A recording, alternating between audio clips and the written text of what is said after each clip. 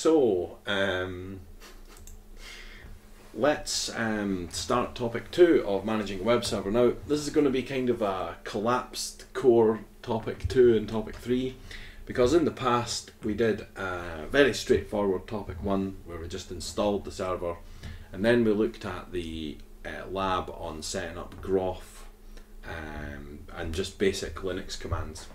So that used to be topic two. So kind of topic two and topic one sort of joined together. So we're going to try and join together topic two and topic three. This is a, just a bit of theory about um, file systems and permissions, and I'll try and demonstrate stuff as we go. So Linux files, what are Linux files? What are common locations for files in the system? Permissions, Thompson and Ritchie, uh, Q&A. So first of all, Linux files, right, files. So I don't know why, but for some reason these bullet points are uh, off angle from the topics that are beside them. but we, we, we could live with that. So in Unix and operating systems inspired by it, such as Linux, uh, Solaris, and things, the file system is considered to be a very central component of the operating system. Well, how could you have how can you have an operating system without a file system? No files, who knows?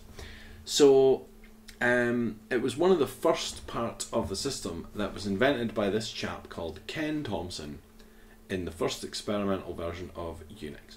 So Unix was developed at Bell Labs uh, by this chap, Ken Thompson, um, who also invented grep uh, and other stuff as well. Um, he's, he's, he's still alive, uh, very, very important computer scientist. Programmer.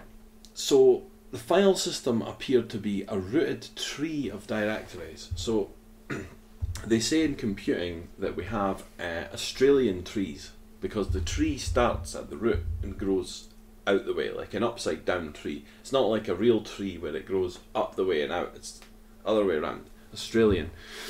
Um, so um, the the file system all starts from root from one slash, which is this way, and then we have um, directories within that. Okay, or in in Windows they call them folders, but directory is the correct name. So this is the layout of the system. Okay, so we start from slash here, the root, and then we have slash bin, etc, sbin, usr, var, dev. Okay, and and there are other there are other folders in there like slash home, um, but these are some of the main ones. So I'll just try and explain what each of these does.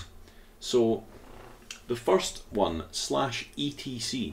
Okay, Americans call this slash etc. Okay, some Americans do, not all of them. So slash etc or etc, um, you can think of that as edit to configure because that's where you edit configuration files in etc. Okay, so if you had an application called my application, then it's likely that the main global configuration file for that application would be in slash etc slash my application and then the file, the, the main configuration file would be called myapplication.conf which stands for configuration. So usually instructions or options are in there and you can comment them out or you can add things in or add things out. Um, so for example, the global configuration file of Apache, if we cd to slash etc, probably better become root to do this. So cd to slash etc, and if I do ls in there, you'll see there's all these um, different kind of programs that are run like this Chromium, uh, what else do we have? Magic, um, SE Linux, Security, Resolve.config, which is used for DNS, um, Hosts, which is used for kind of more kind of DNS stuff, IP address stuff. Um, but what we're looking for is Apache 2. So we go into, okay, uh, CD Apache 2 and we do ls, we'll see that there's a file in there called apache2.conf. So the configuration file for Apache is in slash etc slash apache2 slash apache2.conf. Okay, so if you had another program called my program, it's very likely that the main configuration file for that program would be in slash etc slash my program uh, slash myprogram.conf is where it would be. Okay, so this is a nice uh, setup, and and if you think of that as edit to configure, because that's where the conf- the conf files usually live. So another directory, um, if I just cd back to root, okay, and if we do ls, you'll well let's make, let's do a, a nicer list. ls minus l, okay. You'll see that um, we have these files inside of root. Okay, we've got bin, boot, dev, etc, home. We've got media, mount, opt, proc, root, run, var. So var, okay, is a directory where variable files that change live. Okay, so if we go into slash var, you'll see that in there we have a lot of log files and stuff. Uh, cd into log, var log. So, and look, there's Apache 2. Uh, so if we cd into Apache 2, you'll see that in there is access.log and error.log. So the reason that it's called var is because the files change, they're variable, okay? You, files in etc don't generally change all the time. You just edit them once and then leave it set. If you need to make a global change, you edit it in etc. But log files, like in Apache, uh, get updated all the time. So they're variable, they change, okay? And that's why they're in slash var. Okay, var log is usually where log files. Variable logs, because they change. Right, lib and home. So lib is usually where libraries are. So if you installed a programming language like Python or something like that, it'll be in lib. Okay. Um, dynamic libraries. Okay, uh, needed for the the boot process. Programs. Okay, libraries are just big kind of blocks of code that are needed to help other things run. Okay, home is where your home directory goes. Okay, so if your name is John, your home directory would likely be slash home slash John. Okay, now on Windows, your home directory is something like. Now I've probably got this wrong because it's usually quite confusing, but C this PC users Bob documents Bob's document.pdf. The equivalent of this in a Linux uh, system would be slash home slash bob slash documents slash bob's document.pdf. The equivalent on Windows is something like C this PC users bob documents. Um, so as we saw the other day with Windows, when you create a user, it sets up a profile and it has all those folders like contacts, favorites, uh, documents, music, videos, downloads. The Linux equivalent of the uh, kind of Windows profile ish is the home directory. So we go um, to cd slash home uh, dot, dot slash dot, dot slash home. Okay, let's just go to home. To help if I could actually spell home.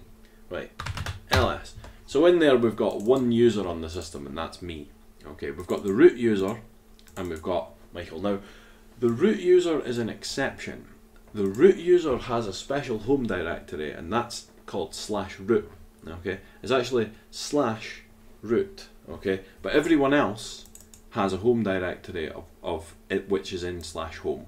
So we go into Michael, we'll see that there's desktop documents, downloads, pictures, public. Just like on Windows, you've got like links, favorites, other strange Windows stuff. So the equivalent of slash home slash Michael on Windows would be c colon slash this PC users Michael slash, and then you'd have all of this general stuff here. Okay. Right. So that's just an overview of different files. Oh, I forgot to speak about bin and sbin. So these two, bin is where binary files are. Okay, and binary files are just programs. Um, let's go into slash bin and have a look and see what's in there. So slash bin. So in here, we've got stuff like um, the ls command. So the ls command is actually just a program that lists files out. Okay, and that lives in slash bin. Okay, um, sbin is where more kind of essential systems, stuff that you need to be root to run. Okay, so things like um, reboot is in sbin. Okay, but things that any user on the system can run are kept in bin. Binary it stands for. Okay, so like IP address show is just in slash bin. Host name slash bin. Okay, gzip, gunzip. Just your general programs that you use every day live in slash bin. Look, there's loads of them. Okay, stuff that you need to work with the system. Okay, dmesg, diff, diff3, dd, cpp, other stuff. Chown. There's chown. Where's chown? Chown. Here. Chown. We're going to talk about chown in a minute, and chmod, and chgrip. Talk about those in a second. So let's go forward and talk about permissions. So there's two types of paths, right? We have an absolute path. So an absolute path is the path all the way from the root directory. The other type of path is a relative path. So a relative path is just the path from wherever you are on the system to wherever you want to go. Okay, so let's just do a couple of examples of this. So I'm in slash bin at the moment. So if I do um, cd to ls, oh ls is not a directory because it's a program. Hold on. Let's go to slash home. Okay, so if I do ls here, there's Michael. Now if I cd into Michael, okay, what I did there was I used a relative path because if I do print working directory, at the moment my working directory, the current working directory is home Michael. So now if I wanted to let's say go into the documents folder, I could just do cd to doc like that. That's a relative path because documents is relatively in the folder that I'm that I'm working in in slash Michael. But there's nothing to stop me from going cd slash home Michael document. And that is called an absolute path because you're starting all the way from the beginning. So generally if you're writing scripts it's better to use, well it's better to use variables, but it's better to use absolute paths because if you write a script and you only use relative paths and then you move the script to a different directory, which I have done in the past, it won't work because it won't be able to find where the things are. Whereas if you use the full absolute path to things, it doesn't really matter whereabouts in the system you put the script, it can still find uh, the place you want it to go. Right, so relative paths are um, if you're in varlog and you want to change to varlog kernel, you can just do cd kernel. However, you, there's nothing to stop you from doing cd slash var slash log slash kernel and putting in the absolute path. Okay, so the kind of key concepts there are relative paths, which is the path relative to wherever you are, absolute paths, which is the full path that starts with a slash like that. Okay, it starts with that, it's an absolute path. And then the current working directory, which you can get by doing print working directory, pwd. Okay, if we do man pwd, this is the manual page, it prints the name of the current working directory. Okay, and there's other options you can use and this was written by Jim Meyering. It's quite handy to know what your current working directory is uh, in the system at any time. Okay, so that's relative paths and absolute paths. So Apache's main files are etc apache2 apache2.conf, that's the main configuration file. etc apache2 ports.conf is to do with the layer 4 port settings port 80, port 443. Then there's sites available. Now, sites available is where we go to edit sites that we want to make available on the system. Okay, we do not. We never, never, never, never, never go into sites enabled and do anything in there. Okay, we don't touch sites enabled. We only go into sites available, and you'll see quite shortly why that's important. Okay, because what you make a site in sites available, then you enable it. It then appears in sites enabled, but you never go into sites enabled and touch anything. Okay, that's that's only Apache's allowed in there. Right. Then there's var www.html, and that's where we keep the HTML websites. Okay, and they're likely to change. That's why they're in var. Okay, these things once they're set up, generally you're not going to be changing the global configuration of the server every day. So they're in etc. These things. Okay, but stuff that changes like website pages and log files are in slash var.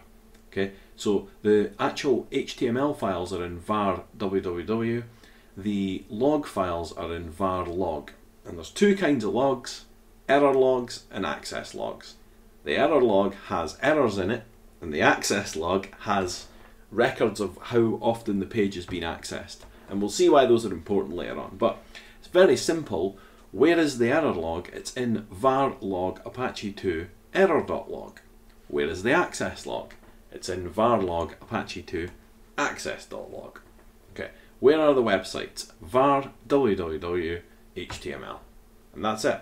Okay, so Apache's config file um, is configured by placing directives in plain text. Uh, now, in other systems like Red Hat, uh, CentOS and things, the file is called httpd.conf.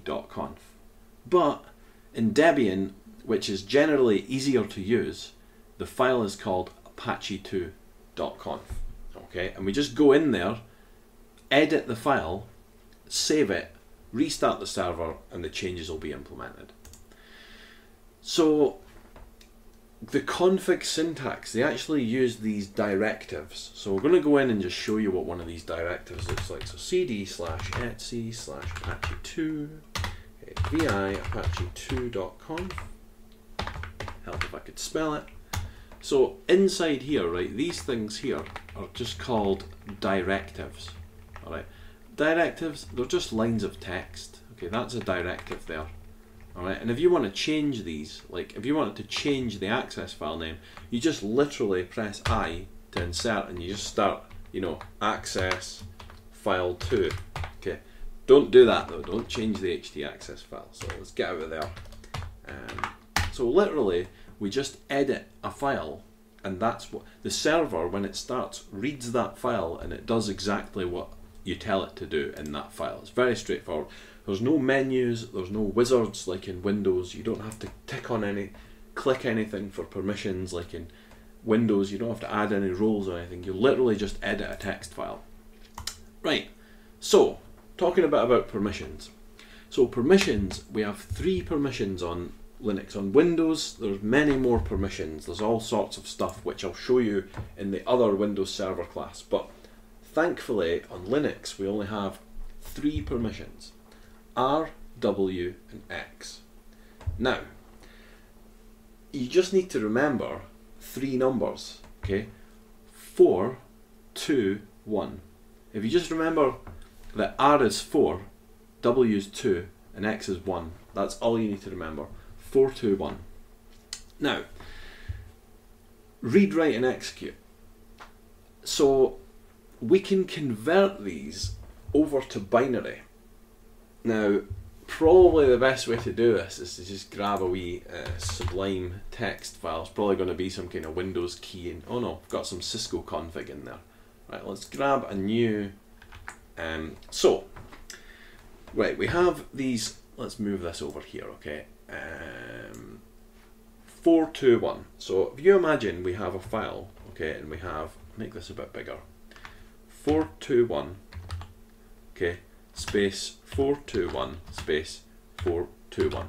Ah. Right. If we convert that over into binary, okay, let's just do, so let's just say we're going to set the bits on or off.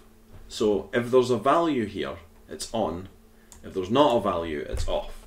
So value 111 space 111 space 111 because there's there's something in there. So when we then convert that to decimal, okay, in binary 421 in decimal is 7. Okay, so 7 7 7. So when you do chmod 777, that's literally what you're doing. You're setting all of these bits to on. Now, let's just change this, okay? And I'm going to say um, turn this, turn that one off, and we'll turn that one off, and we'll turn that one off, okay? So then we need to make the reflect that change in the binary. So let's just turn that bit off, turn that bit off, and turn that bit off. Now let's write these numbers out in decimal, write the binary out in decimal. So we've got 4 plus 1 in binary, okay, is 5. So let's do, well, 4 plus 1, not, not in binary, just in reality is 5. So let's do 5. And then over here we have 2 plus 1 is 3. And over here we have 4 plus 1 again is 5. So to set this level of permission, you would need to do chmod 535. Okay, so that's that's roughly how it works. Now let me just show you this in actual Linux. Um, so if we do ls, we get a list of the files. But what we actually want to do is we want to see the permissions as well. So you can do ls minus la. Okay, long list with all stuff, long and all. And what this gives us is this gives us the permissions of each file.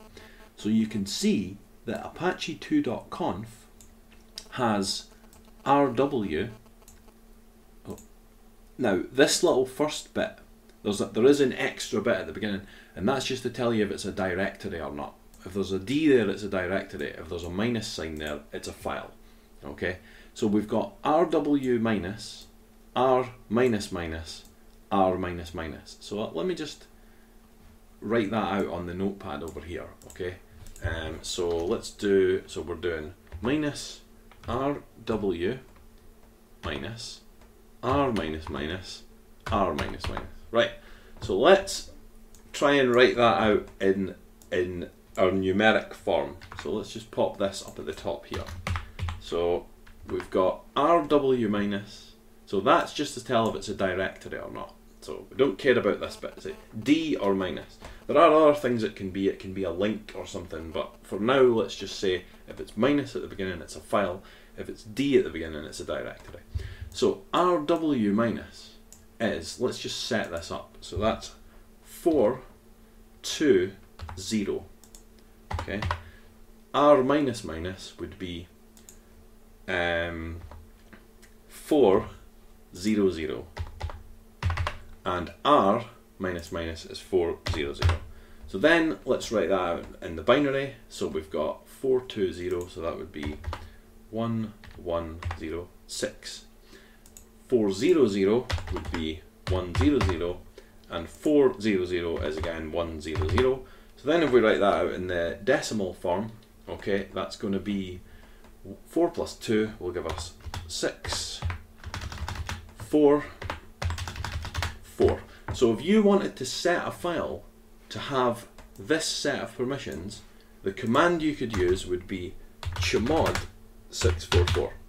And that's how you would get that, that set of permissions, okay? That's how you get this over here.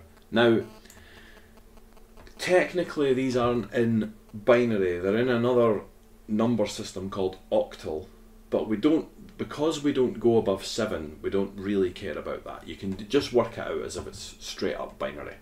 Uh, but it is actually octal, it's base 8, but that's that's for another day. Uh, but we can work these out quite quite easily by just remembering that it's 421. 421 adds up to 7, but if you turn some bits off, you end up with different numbers, and that's how you can set them. And you set them with this command. And this command basically means whatever this is, right, up here, that's the mode of the file, the mode, okay? So when you're using chmod, you're just changing the mode of the file, okay? So if we do man chmod change file mode bits. Okay, and you there, there, there, is another way you can do it. Okay, um, where you can do chmod um, user plus x uh, group plus write and uh, other plus um, read. Okay, but that's called symbolic. Uh, the using symbols. But personally, I much prefer this octal method. I feel that this is a bit easier. Uh, just your personal preference, what, which one you like better. I, I think this is easier because I find this easier to work out uh, in my head. But some people, you'll see this written out, and this is just another way of doing this. But I find that the numbers are more straightforward. Just personal preference. Okay, so here's an example. If I do chmod 762 myfile.txt, okay, then we do ls minus l, we're going to see something like this. 7, 6, 2. Because if you remember, these are allocated 4, 2, 1. So 4 plus 2 plus 1 is 7. Then 6, 4 plus 2, 4, 2. Then 2. Okay? Because only the 2 bit is turned on. That's worth 1, that's worth 2, that's worth 4. Okay. Now, what do these three groups actually mean? Um, the three groups mean user, group, other. So when you change these bits in here, you're changing the permissions for the group. When you change these bits in here, you're changing the permissions for the user, you, and when you change these, you're changing the permissions for everyone else. Okay, so there are a couple of other commands, chown and chgroup, okay? Uh, chown chgroup changes the owner of the file. So if we go back to our ls-l command, this this stream here, that's the permissions, okay? That's the owner of the file, that's the group of the file, the group that owns the file, that's the size, this is just a default size, uh, this is the last access time, and that's the location, okay? Location, that just means the name of the current directory. Okay, so if I was to go into Michael home directory and do ls minus l, we'd see that look, all of these files are, well, they're all directories, they're owned by Michael, and they have, uh, they're in Michael group. Okay, now we could change the group of a file by going to group uh, and then desktop Okay, there into it. And we could say like where we want to change it to. And if you want to check how to do that, just do man group. And in here it'll say change group ownership group group file. So what group you want to change it to and what file you're trying to change. Okay, and there's all sorts of extra additional options in here. Okay. So chmod changes the mode of the file, chgroup changes the group of the file, and chown changes the owner of the file, which is here. Okay, so every file has an owner and a group and a mode, and they can be listed with ls minus l. Right. So, a couple of examples that could work out, but I've already shown you how to do this. Hopefully, this should be super easy now. 742, you know, 777 just means all the bits are turned on. Okay, just all you need to remember is 421 RWX, and that's that if, really, all you need to remember is R is 4, and then the next one's 2 and the next one's 1. Once you remember RWX 421, you're sorted for permissions. Okay, so here we go. This is a bit of a breakdown of what I just said in a bit more detail. So that's the mode and permissions. This is the number of hard links, it's a bit beyond the scope of this course. There's the owner, there's the group, there's the date and time, there, and there's the actual name of the file there. There we go. Ah, yeah, suggested reading. So these are the people who invented this system. Um, sadly, Dennis Ritchie is uh, he died a couple of years ago, but this guy's still alive, and there's a Unix history uh, here where if you click here, you can have a look at. Um, like, look, there they are. There, that's them creating all. They, it was them if you think that this is complicated, this stuff about RWX and Chmod and Chgroup, don't blame me, blame them. Well, you can't really blame him because he's not here around, but this this chap's still around, so blame him uh, for all of this uh, fun stuff. Uh, so this gives you some information about um, the people that kind of invented this. And personally, I don't like to use things if I don't know like where they came from or what they are. I like to I like to look a bit deeper into things. So I put a link to this website which is absolutely covered in adverts. You can if you look at it in the Brave browser it'll block all the or Chrome or whatever it'll block all the adverts. But there's a useful thing there. Now there is a video um, if I go of uh, them Bell Labs um, setting up Unix and stuff. Uh, go here, Bell Labs uh, block. I don't know. Uh, Ken Thompson. Uh, ah, here we go. So this is them explaining Unix in like looks to me like the seventies. Uh, just this is the guy. Uh, gonna have to watch this horrible advert, or we will just mute that while that. Firefox is okay, but it doesn't. I don't have an ad blocker or anything in it because I don't normally use it. I only use it because it stops the frame tearing. Oh, here they are. A couple of computer scientists here at Bell Labs started to develop some programs they needed for their own use. what Ken Thompson and Dennis Ritchie started developing then has evolved into the Unix operating system, which by now is widely used around the world. We were trying to make computing as simple as possible. In the late 1960s, Dennis Ritchie and I realized that the then current operating systems were much too complex. We attempted to reverse this trend by building a small, simple operating system on a mini computer.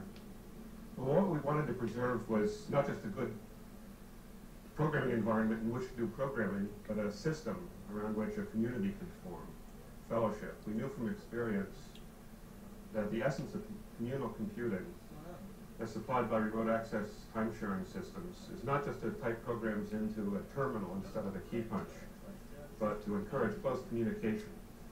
The Unix system started out as a two-man effort, and by now it's used all over Bell Labs. We have close to 20,000 computer terminals in this company, roughly one per employee, and most of them are used for communicating with Unix systems. One of the main reasons the Unix system is popular around here is because it provides graceful facilities for decomposing complex computing tasks into simple subtasks. The Unix operating system is basically made up of three parts. The kernel, or operating system proper, is the part that manages the control of the machine and supervises scheduling of the various user programs.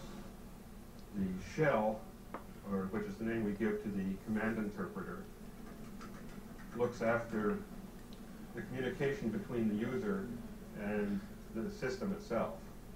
The third part, which is actually the largest, is the various utility programs, which perform specific tasks like editing a file, or sorting a bunch of numbers, or making a plot. Uh, in other words, all the other programs that are not provided directly as part of the operating system kernel. So there we go. Quite a fun guy, isn't he? Um, and there's a, there, there is actually a video where he shows you like how he kind of came up with um, the concept of the pipeline. Uh, I'll try and find this. Uh, he actually surely better if he explains it than if I explain it. Um, hold on, because he was the guy who invented it. Right, let's. So there's there's where he's explaining the shell. We just go forward a little bit uh, to here, I think. Yeah, I think he's going to explain how like pipelines and stuff work. So let's just let's just better hearing it from him than hearing it from me. So let's just play this. All the other programs that are not provided directly as part of the operating system kernel one of the things about Unix is the ability that we have to create complicated programs by building them out of simpler programs. Rather than writing programs from scratch, we can often construct them just by gluing together existing programs, almost like building blocks.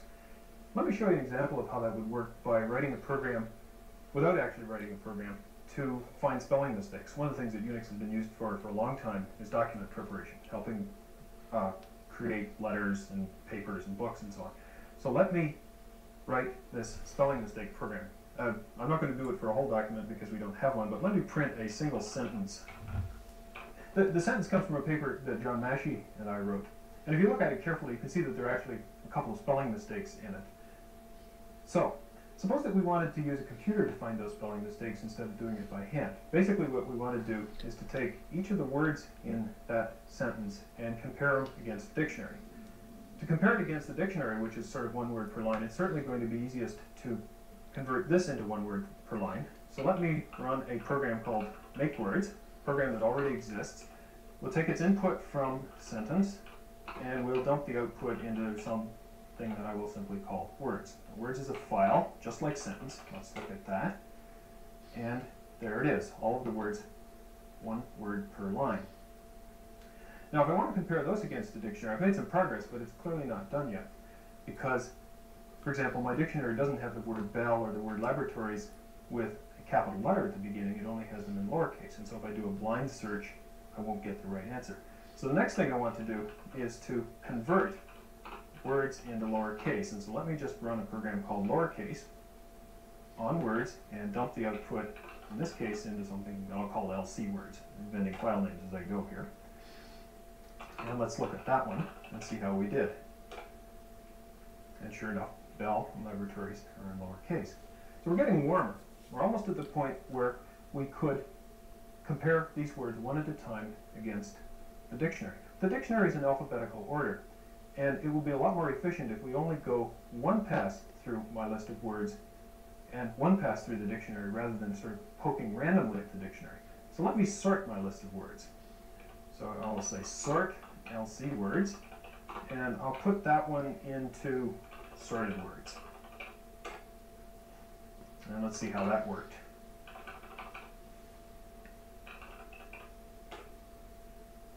And sure enough, they're sorted into alphabetical order.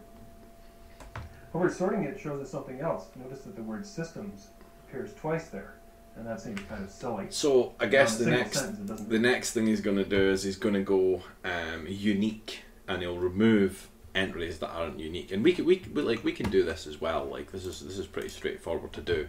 Um, so for example, if I just cd to my home directory, and then I was to uh, make a file called words, okay, um, and I just put in it like cat, dog, other cat, uh, another cat, another dog, uh, running out of ideas for let's say a parrot, and uh, let's think of something interesting. Monkey. Right.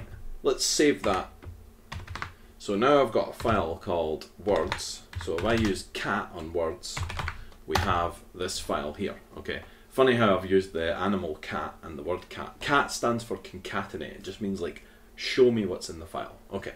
So we've catted words, but at the moment words is it's got some duplicate entries in it and it's not in alphabetical order.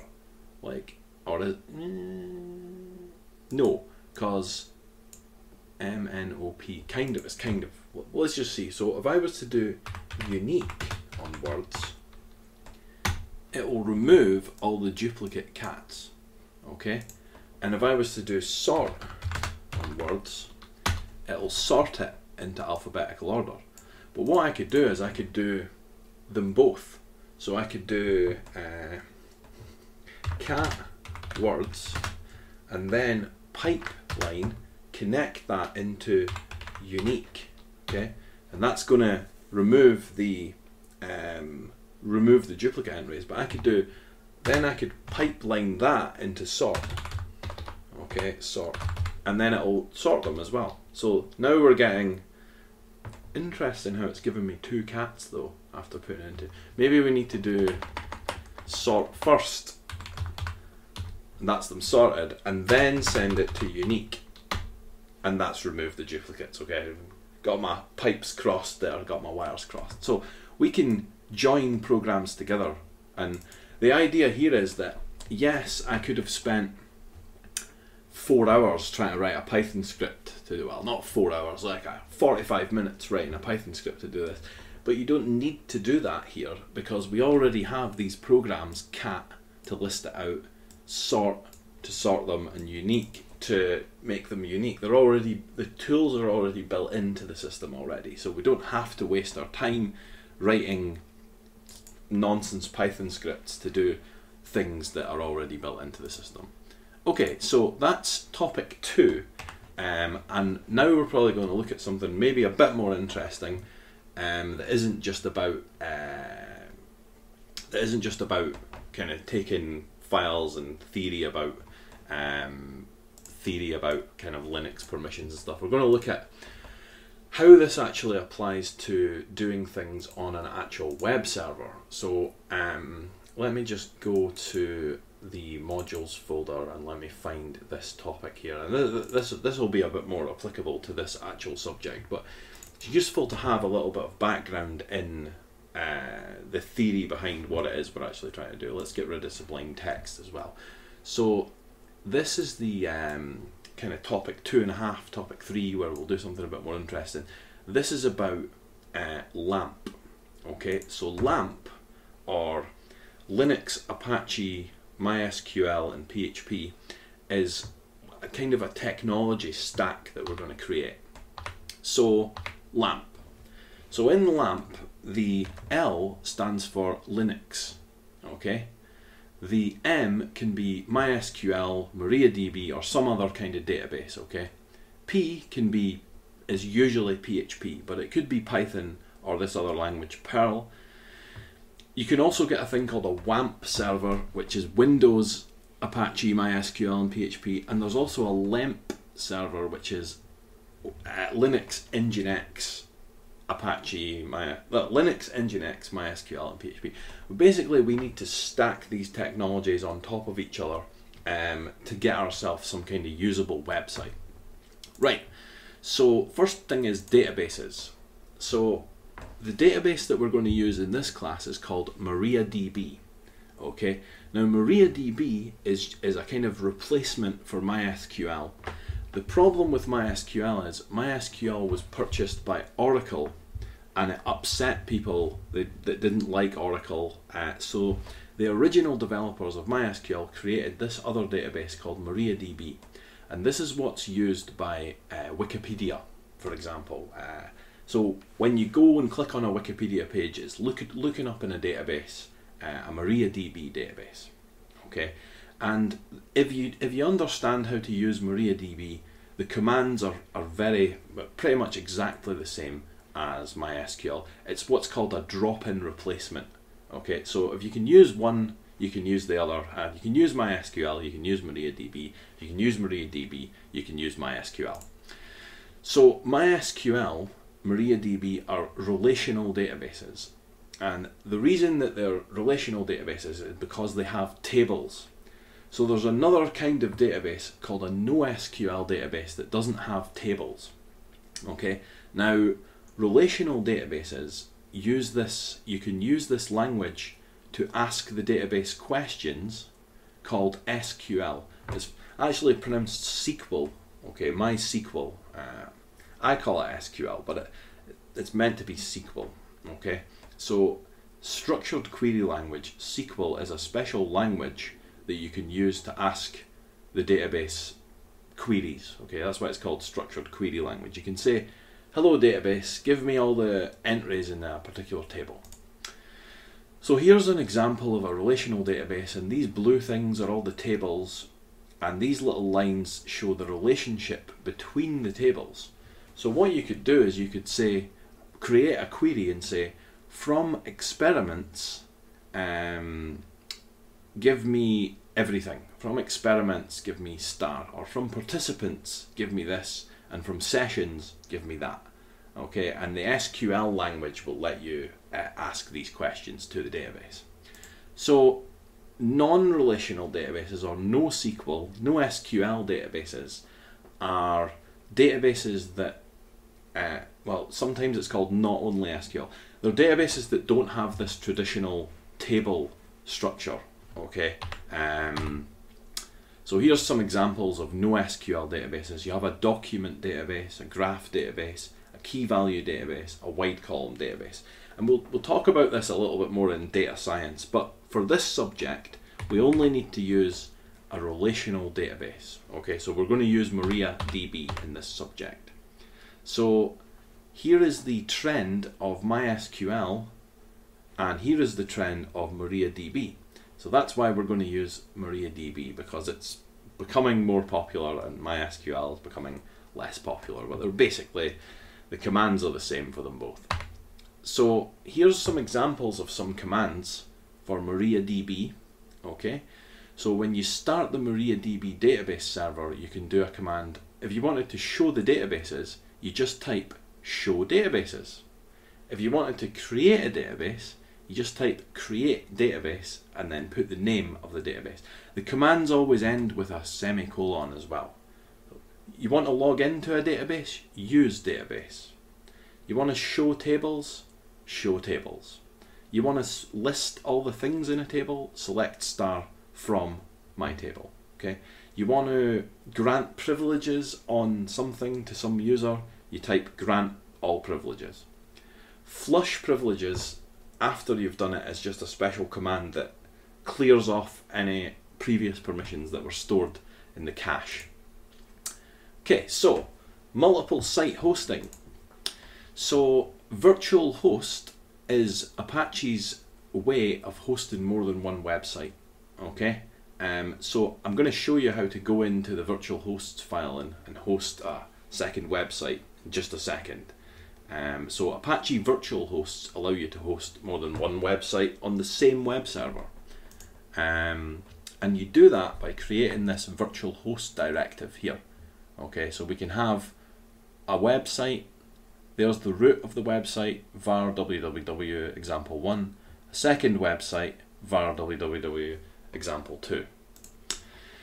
So if you want to host a second website, okay, you need to make the directory for the website and then you need to enable it and then you need to create a virtual host directive. And again, I'm going to show you how to do that in just a second. I'm going to give you a task that shows you how to do it. Um, once you've done that, you just copy the default configuration to make a new configuration file, and then you just enable the site with A2EN site. Okay, and then you need to restart Apache. So I spoke about this a little bit earlier. Sites available or sites enabled. So we always, always, always make changes in sites available. So go back into the server, go into the Apache cd slash etc Apache 2 cd sites available. So in here, if I do ls minus l, there are two files, and these are important files. The triple zero default.conf is the default website, and the default ssl.conf is the default. Now these are templates. Okay, you don't edit these. You make a copy of them. So say I was going to try and host a new website, I would copy triple zero default.conf to my second site.conf. Okay.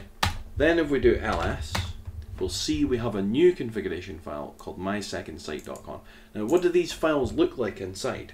Let's have a look. My They look like this. Okay, we've got a virtual host directive. This star just means any IP address and that's the port number. And then we have where the site is hosted. So we were going to host a new site, we would make a new folder, a new directory in the www root, and then we would edit this line to reflect that. And we can edit like the log path and I mean it's a fa fairly small file, it doesn't have much in it. All of these are just comments that just explain what you want to do. Um, so yeah, so it's a, this is called a virtual host file, okay? Come out of there. Always, always, always edit these in sites available. You never, never, never, never, never go into sites enabled. Okay, sites enabled is for something else. So that's the kind of a little bit of an intro to this um, sort of LAMP uh, MariaDB technology. And what we're going to do now is I'm going to give you a task that, that will explain how you can actually do this. Okay, I'm just um, having a look at the uh, Moodle over here. Let's go back and have a look at what I've got. Uh, so yeah, So how to set up um, a LAMP server? How are we going to do that? So I can give you a, just a quick demo on how to do this, but then I'll give you the steps and you can try and do it yourself. Okay, so the first thing we're going to do is just check that. Oh, let's just get rid of this. Kill. Will we just kill the browser? Kill the browser. Go on. Right. So the first thing we're going to do, I'll just appear back in the corner here. I guess every time I click here, I'll disappear. Is that going to happen? Can we make? Can we do two? We can do two. Okay. So the first thing we're going to do is we're going to check that Apache's running. So I'm just going to cd back to my home directory, clear out, and we're just going to do system ctl status Apache 2. Okay, so good, right? Green, active, running. Fantastic. So let's just press Q to quit out of this pager. Okay. So let's get a database installed. So what we're going to do to do that is do apt advanced package tool install MariaDB server. Okay, and that's going to go and install the MariaDB application onto the server. So let's do that. Going to go onto the internet, download MariaDB, and hopefully install it. So there we go. Right. Okay. It's creating a symlink, doing some stuff. Cool. So, if I now run the command systemctl status MariaDB, hopefully I maybe need to put server, but we'll just try just doing this. Ah, okay. So systemctl status MariaDB. So MariaDB is now running. So we now have a database server, MariaDB 10.5.15, running on the system. So we've got a web server and a database server, both running on this Linux system. So we've got Linux Apache M MariaDB L A M. We don't have the P yet, but we'll we'll, we'll get to the PHP soon. So, okay, so let's do. Um, let's just see if we've got stuff. Uh, where are we? Right. So let's do the next step. So we've got. Um, we need to run through a basic configuration. Now, don't try and do this because you'll probably do it wrong. I'm going to give you the, step, the steps. Well, you might do it correctly, but there's a good chance of messing this up. So let's do MySQL underscore secure installation. Okay, we just run through this this basic thing. Now, what I'm going to do here uh, is not the best kind of security thing, but I'm gonna I'm gonna say I'm gonna um, just press enter and not set this this password just now. And th- there's reasons for that that we'll come into later. You don't want to set a password here. Okay. After that, we just want to say no for everything. Okay, so let's say no. You already have your root account protected. You can answer no. So do you want to change the root password? No, we don't. Do we want to add some anonymous user? No, we don't. Do we want to disallow root login? No, we don't. Do we want to remove the test database? No. Do we want to reload the privilege tables? Um, you can press yes and enter. Oh, maybe we should press yes. Let's remove the privilege tables. Okay, so that's the, the basic setup complete. Right, so once we've done that, we can then start MariaDB. Now to start MariaDB, we just type MariaDB, MariaDB, username, root, password, no password, because we didn't set one, thankfully. If you did set the password though, you'd have to put the password in here, but there's reasons why we didn't set the password, which I'll come to later, okay? So let's go in here, enter password, and you just press enter, because we didn't set one, thankfully. Right, so now we're at the MariaDB prompt, okay? We're inside the MariaDB server. So what I'm going to do is create a database. So to create a first database, really straightforward, we just type create database shop, okay? Semicolon, because it's the end of the line. Create database shop. Now, sometimes when you read SQL, so this is SQL, right? Sometimes when you read SQL, what they'll do is they'll write the SQL like this. And what that means is these are commands, okay, and that's a variable because we're, we're, we're creating that. But these are already built-ins. But you don't have to write the SQL like that. That's just a syntax to make it easier to read. Okay, so we'll just do create database shop, okay, semicolon. So create database shop, query okay, one row affected. So now we want to log into the shop database. So let's do use shop, okay, semicolon.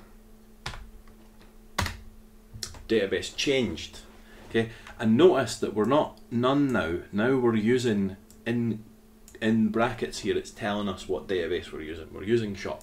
So what I'm going to do now is I'm going to create a table inside the database, and you can think of this table as like an Excel spreadsheet type arrangement. So to create table, we just do create table, um, and then we're going to give the table a name. So we're going to call this products table, okay, and then we need to define the columns and rows of the, the, the layout of the table. So to do that, we're going to open a bracket and we're going to say that we want to have a column in this table called product ID. Product ID. Okay?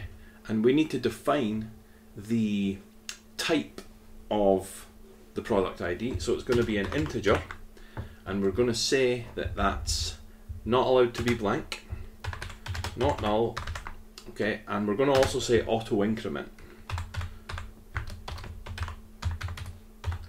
And what that does is that just means that it's going to automatically at one, two, three, it'll increment automatically. Comma. Next item in the table is going to be product name. So product name and the product name, we don't want that to be an integer, do you? Can you imagine if you went down to the supermarket and every product was an integer?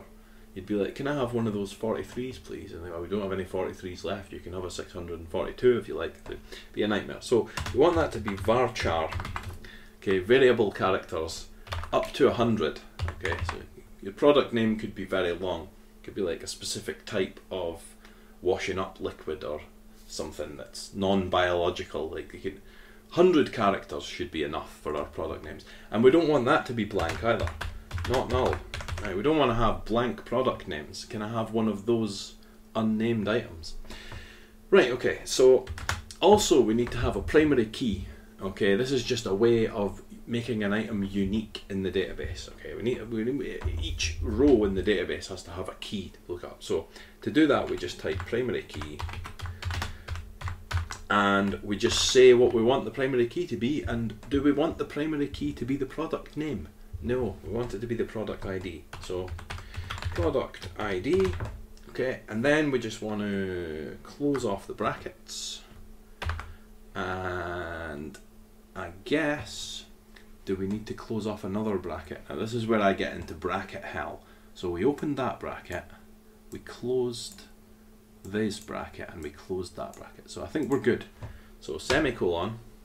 Um, I think that's going to work, but probably I'll get an error. I've probably done something wrong. So let me just try that. Okay, seems to have accepted that. So now if I do show tables, we can inside our shop database, we can see that we have a table called products table inside the shop's database. Okay, great. So now let's put something into the database, enter something into the database. So let's do insert, help if I was actually typing, insert into products TBL, okay, set product name, name equals Okay, and we'll open these brackets. My first product in the shop, okay, and then we're just going to do uh, semicolon. So insert into products table, set product name, my first product. We don't need to set the product ID because remember that's auto increment. All right, that's not not like it's an integer and it's auto incrementing. So that we don't have to tell it what that is. That's gonna, it's going to it's going to manage that for for for us. So let's hopefully we should get okay. It's happy with that. So now we want to show what's in the products table. We just do select star from products TBL semicolon. Select star from products table and we can see that inside the products table we've got these two columns product ID, product name, and my first product is the name of the first product in the products table and it's got an ID of 1. Now if I press up and get this back, let's stick something else in there. Um, large pair pair of shoes. Okay, so we're going to put something else in the products table, large pair of shoes. Okay, and then if we do select all from products table, we'll see that we have two products in the products table.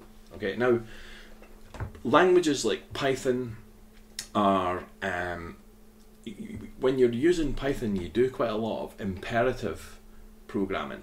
So you're telling Python how to do stuff, how to look for for the item in the row, go around the, the item, and then show the different things in the row. But this type of language, this is more like this is declarative. You're not telling it how to insert into the products table, you're just telling it what you want it to do. So, uh, in the um, computer programming course that we did, uh, or you may have done with me or with someone else, I usually start off by saying there's two types of knowledge. There's imperative knowledge and there's declarative knowledge. So this this is much SQL language is declarative because you're not telling it how to insert something into a row. You imagine doing this in Python, you'd be like, for the row, get the thing, and then row equals row plus. You'd have to tell Python how to do this. Whereas SQL is declarative. You're not telling it how to put the thing in the row. You're telling it what you actually want to put in to the row. Okay? So the next thing that we're going to set up is PHP. Hopefully this is a kind of intro. And don't worry, I'm going to give you the steps on how to do this, so you'll you'll uh, you'll be able to work through this yourself. But let me just exit. Uh, I think you need to do semicolon. I think. Yeah, amazing that I remember that. So, okay, so when we install PHP, the pre-hypertext processor is exactly the same process as when we installed um, we installed MariaDB, when we installed Apache. But what we're going to do is we kind of need to add on a module as well. So let me just grab the command here and paste it in because it's quite long. So we need to install PHP, a library to help Apache and PHP talk to each other, and a library to help PHP talk to the database. Okay, so we're installing PHP, Apache mod PHP, and PHP MySQL. PHP and a couple of libraries to help it speak to the other two technologies. So let's go and get that. Now, there's one slight change we need to do to Apache to get PHP working. Okay, and that slight change is we need to edit uh, the order in which Apache deals with pages. Okay, so we'll let PHP install. You might notice we're installing PHP version 7.4. Okay, so we just need to edit this configuration file. Okay, so vi etc apache 2 and dir uh, etc apache 2 mods enabled dir conf. Okay, now in here, this tells Apache which modules are enabled and you might notice that PHP is quite a long way down the list. So what we need to do is we need to move PHP to the first position. Okay, and the way we do that is we just press I to uh, edit the file and we just do that. And then we just head right to the beginning and we just write index.php. Okay, escape, shift, ZZ, and that's that done. Okay, now, just to check that Apache's happy with that, we're going to do Apache CTL, is it Apache CTL config test. Okay. Now, forget about all this qu- fully qualified domain name. That'll always happen. It's this line that you're interested in. If it says syntax okay, the syntax is okay. So since we made that change, I'm just going to do a systemctl restart. Apache 2 uh, and then systemctl status Apache 2 status Apache 2 okay that's good. So what we're going to do now is we're going to check that PHP is running okay? And the way we do this is we're going to create a special file called php info so to do that I need to go into the www root so var dub html and in here I'm going to make this special file and that special file is called info.php okay it's actually a massive security risk if you leave this page turned on because then hackers can see all the information about your PHP but let's go into uh, vi slash var 8 oh we're already in there right losing my mind here okay so let's do vi info.php we're going to make a file called info.php. So now we're in the file. Now all PHP files start, PHP code starts with this thing, okay, uh, and then PHP. Okay, so it always starts like that, and it always ends like this. Okay, that's just the way PHP starts and ends. Okay. Um, I think actually with VI I can do something like, let me just try and be set syntax PHP. I think that's, uh, I can't remember the exact command. Is it just syntax PHP? Tax PHP. No, I can't remember the exact command off the top of my head. There's a way you can set syntax PHP. Okay, so what we're going to do is we're just going to add one line of PHP to this to this file. So let's go back into insert mode. Php info bracket semicolon. Php info that's it. That's all we need to do. Escape save. So now we've got our uh, mypage.html we made last week index.html which is the default index page and we've got this file called info.php so let us open Firefox on the server um, and let's go 127001 and we'll see there's the default page. I'll zoom this back a wee bit. Now remember last week the thing we did was we made, uh, what's it called, mypage.html. So mypage.html. So there's mypage.html. Let's have a look at info.php. See if this works. I'm, I'm about 62% sure this is going to work. Oh yeah, well, it's worked, okay.